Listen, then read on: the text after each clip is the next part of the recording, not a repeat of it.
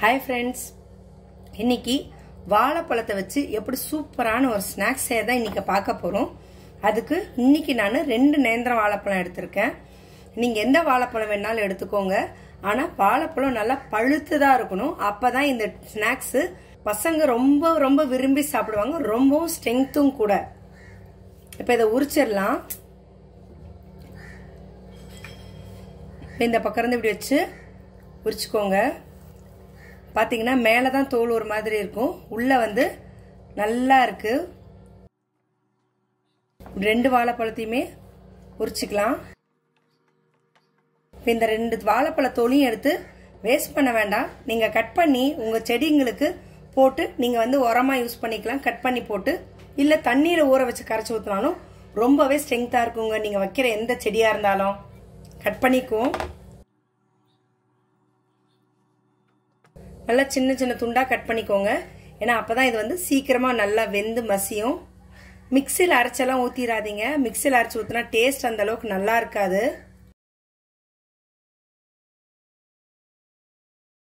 இப்போது அடுப்பத்தை வச்சு பேன் வச்சுட்டு ஒரு ஒரு ஸ்பூன் நெய் ஆட் பண்ணிக்கோங்க. இப்போது நெய் காஞ்சதுமே நம்ம கட் பண்ணி வச்சிருக்க வாழைப்பழத்தை இதில் ஆட் பண்ணிடலாம்.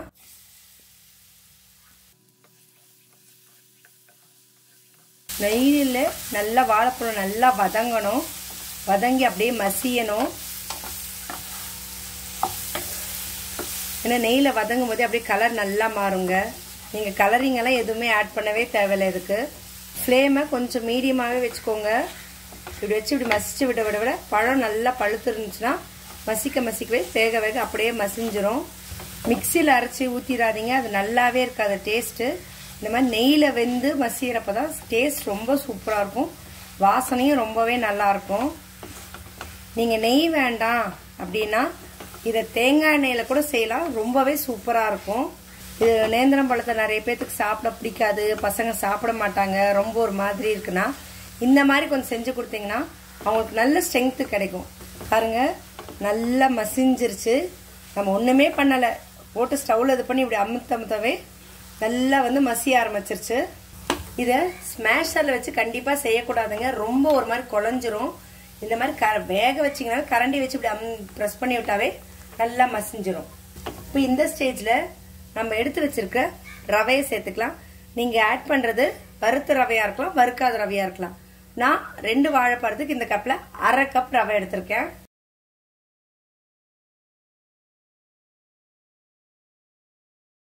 இப்போ ரவையை நல்லா நம்ம இது கூட மிக்ஸ் பண்ணிட்டோம்.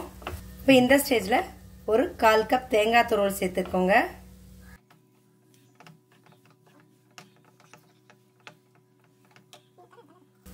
இது தேங்காய் வந்து அந்த பச்சை வாசனை போகிற அளவுக்கு நீங்கள் வருங்க. அப்போ தான் இது வந்து டேஸ்ட் நல்லாயிருக்கும் நல்லா ஒன்று சேர இருக்கணும்.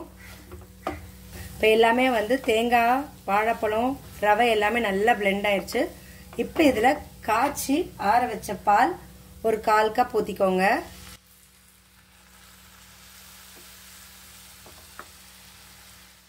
ஸ்டவ் வந்து எப்போவுமே சிம்லே வச்சு தான் செய்யணும் இதுக்கு. நீங்கள் எவ்வளோ கிலோ சிம்மில் வைக்கிறீங்களோ அவ்வளோ கிலோ டேஸ்ட் நல்லாயிருக்கும்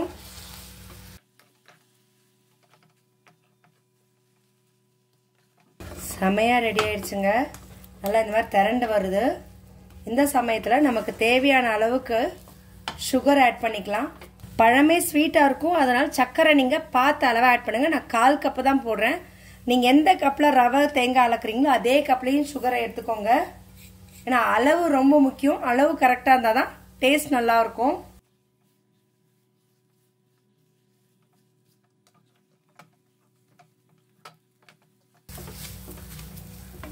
நல்லா திரண்டு வருது.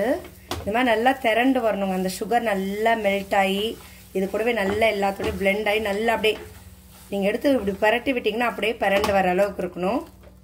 உங்களுக்கு எண்ணெய் பத்தலை நெய் பத்தலைன்னா நீங்கள் இன்னும் கொஞ்சம் ஆட் பண்ணிக்கலாம். ஆனால் நல்லெண்ணெய் யூஸ் பண்ணாதீங்க. டேஸ்ட் இதுக்கு நல்லா இருக்காது கண்டிப்பாக தேங்காய் எண்ணெய் நெய் சூப்பராக இருக்கும். இப்போது கொஞ்சமாக ஏலக்காய் தூள் நீங்கள் ஆட் பண்ணிக்கோங்க. இல்லை உங்களுக்கு வெண்ணிலா எசன்ஸ் வச்சுருந்தா அதுவும் நீங்கள் ஆட் பண்ணிக்கலாம்.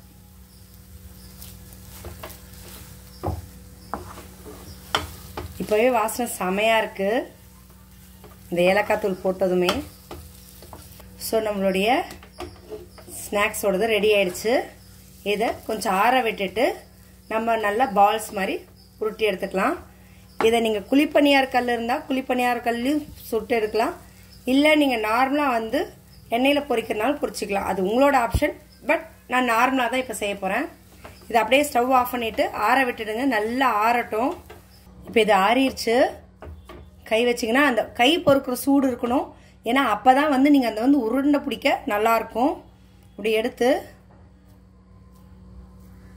உள்ளங்கையில் வச்சு நல்லா இப்படி உருட்டினீங்கன்னா நல்லா சூப்பராக உருட்ட வருங்க.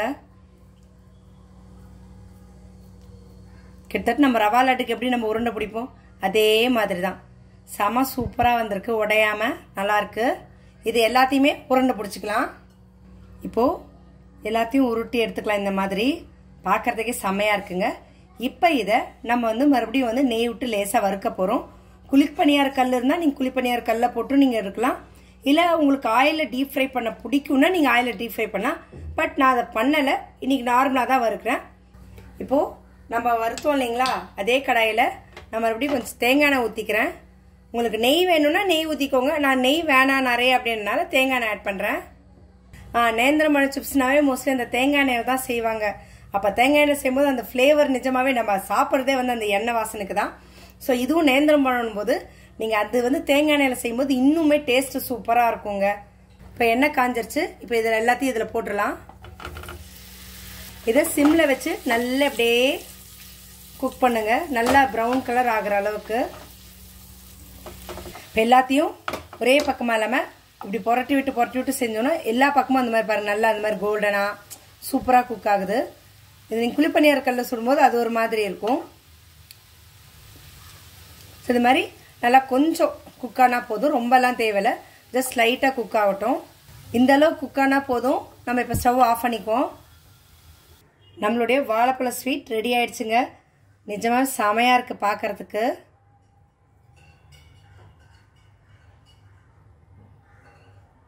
இவ்வளோ சூப்பராக இருக்குது டேஸ்ட்டு ரொம்பவே செமையாக இருக்குது நான் எக்ஸ்பெக்ட் பண்ணாத அளவுக்கு இருக்குது ஸோ வாழைப்பழத்தில் இவ்வளோ அழகாக பண்ண முடியுமா?